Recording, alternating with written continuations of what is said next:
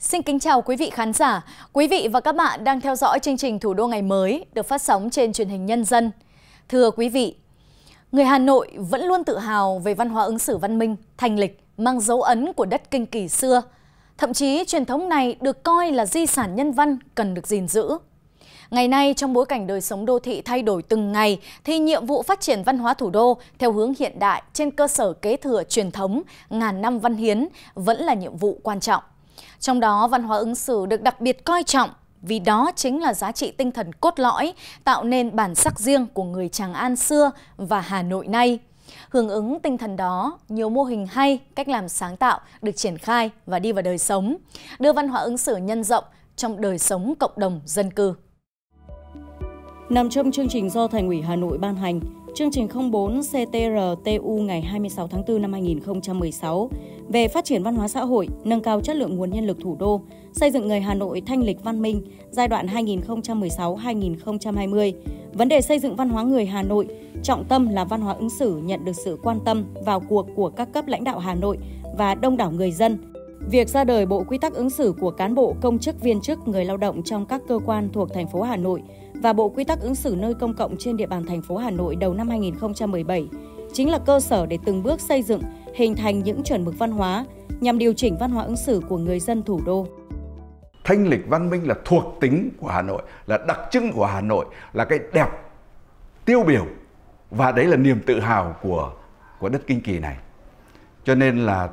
tôi nghĩ là trong cái quá trình xây dựng Hà Nội theo một cái, cái tinh thần là hiện đại văn minh thì cái nếp sống văn minh thanh lịch của người Hà Nội luôn luôn phải được đề cao. Phong trào xây dựng văn hóa ở Hà Nội phải làm sao mà hướng tới cho tất cả mọi người dân ở sống ở trên thủ đô này phải cảm thấy mình phải sống đẹp, mình phải sống tử tế và mình phải góp phần cho thủ đô ngày một đẹp lên. Chúng ta không đo cái vẻ đẹp của Hà Nội đơn giản chỉ bằng mức độ hoành tráng, tầm cao của các công trình. Hà Nội chỉ thật sự đẹp ờ, khi trong quá trình tiến lên thì Hà Nội biết lưu giữ biết ờ, bảo vệ và biết phát huy những cái giá trị tinh thần cao quý.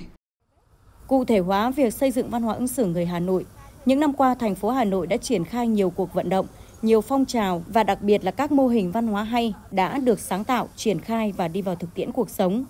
Như mô hình thôn tổ dân phố văn hóa kiểu mẫu, mô hình chung cư văn hóa, vân vân. Là một đô thị hiện đại, nhiều phường từ làng lên phố, số dân nhập cư đông, đặc biệt với gần 1.000 tòa trung cư, Cuộc sống tại trung cư Hà Nội có những đặc điểm mà các quy tắc ứng xử chung của thành phố chưa thể bao quát. Trong khi đó, trung cư lại ngày một phát triển, cư dân đô thị sống ở trung cư ngày một nhiều. Đó là lý do nhiều quận huyện trên địa bàn thành phố đang xây dựng những mô hình văn hóa ứng xử tại các khu trung cư nhằm thiết thực xây dựng văn hóa người Hà Nội. Từng giữ chức Phó vụ trưởng vụ Văn hóa Văn nghệ Ban tuyên giáo Trung ương, có nhiều năm nghiên cứu tham mưu về lĩnh vực văn hóa, sống tại trung cư này hơn 20 năm, Bà Bích Hồng vô cùng chăn trở về hiện thực ở các khu đô thị, khu dân cư ngày nay bởi sự xa lạ rời rạc của những người hàng xóm láng giềng. Ngày ngày gặp nhau nhưng không có sự giao lưu tìm hiểu, không có hoạt động chung để sẻ chia, hỗ trợ nhau. Xuất phát từ mong muốn đó cùng với sự tham vấn và hỗ trợ của nhiều người, mô hình tổ liên gia văn hóa đầu tiên của Hà Nội đã được thành lập tại tổ dân phố số 12, khu đô thị Mỹ Đình 2, quận Nam Từ Liêm.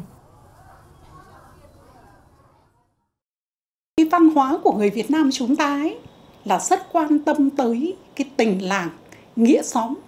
lời chào còn cao hơn cả mâm cỗ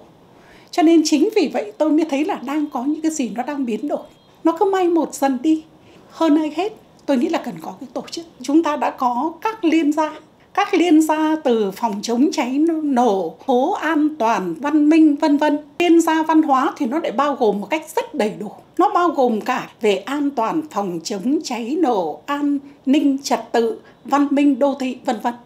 Thế thì như vậy chúng ta sẽ gói vào thành một liên gia văn hóa. Thế thì ở đây nó sẽ rất phù hợp với chính là các khu chung cư hiện đại. Mô hình liên gia văn hóa của tổ dân phố số 12 gồm hai chung cư, khu biệt thự.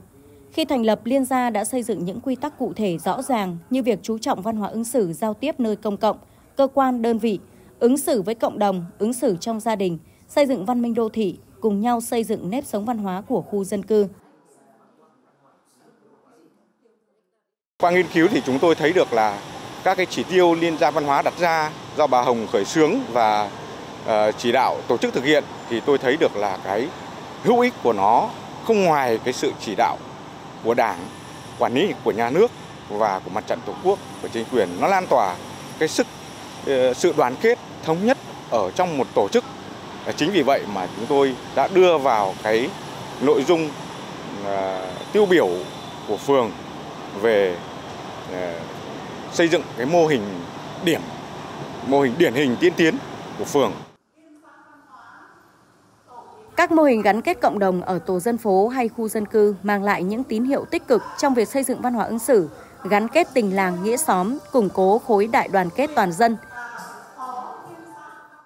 Tôi thì bản thân tôi thì trước tôi ở bên quân đội, thì tôi bị thương để đến lúc các cháu nó còn bé thì vẫn ở đấy. Thế như bây giờ các cháu nó công tác ở trên này thấy mua nhà ở trên này. Về đây thì tôi thấy sống là quá là tốt chan hòa vui vẻ. Mất nhất là từ cái ngày mà ừ, thành lập cái tổng liên gia này này thì mọi người quan tâm đến nhau. Sống thế này nó vui vẻ lắm. Nó giúp đỡ nhau. Cùng với việc xây dựng văn hóa ứng xử ở các khu dân cư các tổ dân phố khu chung cư các mô hình xây dựng văn hóa ở nơi công cộng cũng được triển khai. Một trong số đó là mô hình chợ văn minh, an toàn, hiệu quả do các cấp hội phụ nữ thành phố triển khai tổ chức.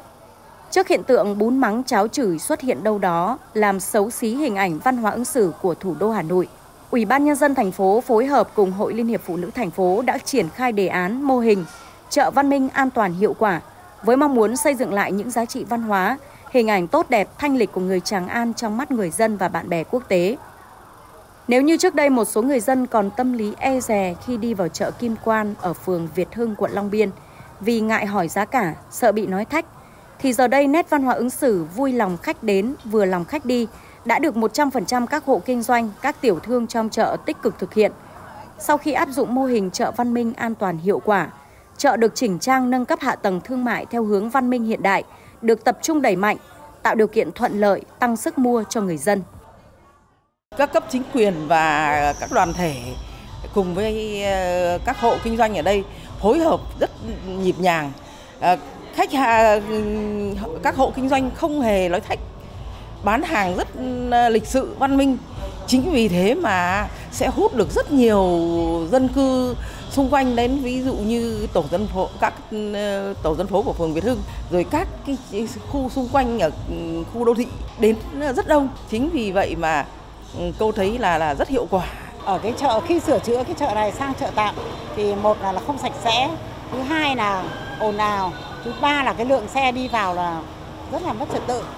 Thế từ hồi mà chuyển sang xây dựng cái chợ văn minh à, thương mại này, nhất về công tác vệ sinh môi trường là sạch sẽ hơn, thứ hai là các hộ tiểu thương kinh doanh buôn bán và khi chúng tôi mua hàng thì à, vui lòng khách đến vừa lòng khách đi giao tiếp ứng xử đúng mức. Thực hiện mô hình chợ văn minh bao hàm nhiều ý nghĩa mang đến sự thay đổi về diện mạo đô thị, không gian giao thương, tất cả với mong muốn xây dựng lại hình ảnh chợ truyền thống, một biểu tượng đặc trưng cho sự phát triển gắn kết xã hội nói chung và mối quan hệ văn hóa ứng xử giữa người với người nói riêng. Ngoài các mô hình khác nhằm xây dựng văn hóa ứng xử ở khu dân cư hay nơi công cộng, thì nhiều phong trào thiết thực cũng được tổ chức hướng tới các tiêu chí cụ thể như tôn trọng không gian chung, ứng xử lịch thiệp, thân thiện, nhã nhặn, đúng mực, quan tâm nhường nhịn giúp đỡ người khuyết tật, phụ nữ mang thai, người già, trẻ em, tôn trọng bảo vệ cảnh quan môi trường. Mặc dù còn có nơi, có chỗ trong quá trình xây dựng văn hóa ứng xử vẫn còn theo tính phong trào, chưa thực sự bền vững, nhưng với những nỗ lực và tinh thần chung nhằm vun bồi văn hóa ứng xử của người Tràng An xưa và người Hà Nội nay, cho thấy tầm quan trọng của việc xây dựng văn hóa nói chung. Hy vọng rằng với sự quyết tâm của các cấp quản lý, góp sức của người dân, những điểm sáng văn hóa sẽ được nhân rộng, góp phần giữ gìn và phát triển các giá trị văn hóa Thăng Long Hà Nội, duy trì và đẩy mạnh các hoạt động trong phạm vi ứng xử văn hóa, xây dựng người Hà Nội thanh lịch, văn minh.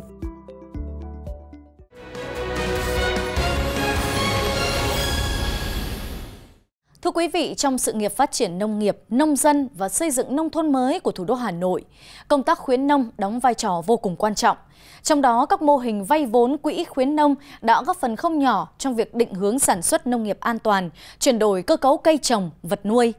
Đặc biệt trong quá trình thẩm định, phê duyệt phương án vay vốn, Quỹ khuyến nông Hà Nội còn tạo vai trò cầu nối hiệu quả cho các hộ nông dân sản xuất nông nghiệp thực hiện liên kết sản xuất, tiêu thụ theo chuỗi giá trị bền vững. Trang trại nuôi gà của hộ gia đình anh Nguyễn Đắc Văn có được như ngày hôm nay cũng phải trải qua nhiều khó khăn vất vả. Những năm gần đây được sự hỗ trợ của Trung tâm khuyến nông, gia đình anh đã được vay vốn quỹ khuyến nông với số tiền lên tới 400-500 triệu đồng. Có thêm nguồn vốn, những hộ gia đình và các chủ trang trại như anh Văn có thể đầu tư mở rộng quy mô sản xuất, đầu tư các trang thiết bị phục vụ sản xuất hoặc nâng cao chất lượng chuồng trại, nhập thêm con giống và thức ăn chăn nuôi. Với sự thuận lợi và tạo điều kiện của quỹ khuyến nông, thời gian tới gia đình anh Văn mong muốn được hỗ trợ vay tiếp để đầu tư đào ao, mở rộng mô hình nuôi vịt đàn. Trang trại của nhà thì trước thì nó có một chuồng, Đấy, nhưng mà sau từ khi Ờ, từ khi mà có cái quỹ của khuyến nông ấy, thì mình mượn thêm thì làm thêm được hai cái nữa. Đấy, thì là lòng cái quy mô nuôi lên trước thì chỉ có 2.000 thôi, một nghìn rưỡi 2.000 à, kịch chuồng. Từ ngày tiếp cận cái vùng nguồn vốn của khuyến nông thì mình làm thêm được hai cái chuồng này thì là nuôi nên số lượng là 5 nghìn. Có cái vốn thì mình nói có tiền nói cám ăn trực tiếp thì nó giảm được ờ, chi phí đầu tư. Với lại ờ, lăng được số đồ của nên mình thu nhập mình được nhiều hơn. Hàng năm thì chúng tôi cũng phối hợp với lại các đoàn thể, ủy ban nhân dân các xã, thị trấn à, gửi công văn xuống các xã để ừ, triển khai cái mô hình quýt khuyến nông của thành phố Hà Nội để qua truyền thanh của ờ,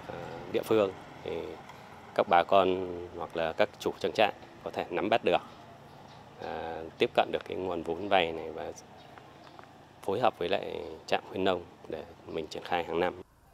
Là một xã đảo của thủ đô Hà Nội, nhiều năm liền bị xếp vào diện đặc biệt khó khăn. Từ khi chương trình xây dựng nông thôn mới được triển khai, hơn 6.000 người dân ở ốc đảo này đã náo nước vào cuộc, xác định lợi thế đất đai, khí hậu. Trong những năm qua, Minh Châu đã đẩy mạnh sản xuất nông nghiệp, trong đó tập trung phát triển chăn nuôi bò thịt, bò sữa. Xã Minh Châu đã triển khai các chính sách hỗ trợ về con giống, chuyển giao kỹ thuật chăm sóc, cải tạo chất lượng đàn bò, đồng thời xây dựng và nhân rộng các mô hình chăn nuôi cho giá trị kinh tế cao, góp phần giải quyết việc làm, tăng thu nhập cho lao động nông thôn. Nhà mình về là về 500 thì về mình à, mua mé ờ, thái cỏ đấy thì mất được 100 rồi. Còn à, mé vắt sữa các thứ nào phải mất trăm nữa còn đâu là mua thêm bò về khuyến nông thì nó nhẹ thì mình ờ, thu nhập nó cũng được cao hơn, mình trả tiền lãi nó ít hơn thì thu nhập nó vẫn là được hơn. Thì mình vẫn thích là về khuyến nông. Đối với Minh Châu thì chủ yếu là sản xuất nông nghiệp. Thế và trong sản xuất nông nghiệp thì chúng tôi đang áp dụng một số mô hình ờ, của khuyến nông như là mô hình ờ, chăn nuôi bò thịt, chăn nuôi bò sữa và mô hình ờ, trồng rau. Thì là chúng tôi đang triển khai phối hợp với khuyến nông tạo cái nguồn vốn cho các mô hình để các à, hộ áp dụng các mô hình là có vốn để đầu tư vào phát triển sản xuất như là mua con giống này, mua thiết bị để phục vụ cho sản xuất và mua thức ăn để phục vụ chăn nuôi trong à, của cái mô hình chăn nuôi phát triển chăn nuôi bò sữa. Hàng năm, Quỹ khuyến nông thành phố Hà Nội dành 15 đến 20% tổng nguồn vốn giải ngân trong năm để ưu tiên hỗ trợ cho vay những vùng sản xuất hàng hóa tập trung, vùng chuyển đổi cơ cấu cây trồng theo quy hoạch của địa phương. Việc kiểm tra giám sát các hộ đang sử dụng vốn vay quỹ khuyến nông trên địa bàn do các trạm khuyến nông chịu trách nhiệm. Những năm qua với vai trò là tiểu ban quản lý quỹ khuyến nông, trạm khuyến nông các huyện trên địa bàn thành phố Hà Nội đã ra soát, hỗ trợ, tư vấn cho rất nhiều hộ gia đình, chủ trang trại được tiếp cận với nguồn vốn quỹ khuyến nông của thành phố từ kết quả thực hiện các mô hình, dự án và vay vốn khuyến nông đã tạo điều kiện cho nông dân tiếp cận kiến thức cơ bản trong chăn nuôi, trồng trọt, thúc đẩy chuyển dịch cơ cấu cây trồng vật nuôi, hình thành những trang trại, gia trại sản xuất hiệu quả, góp phần quan trọng thực hiện mục tiêu phát triển nông nghiệp nông thôn.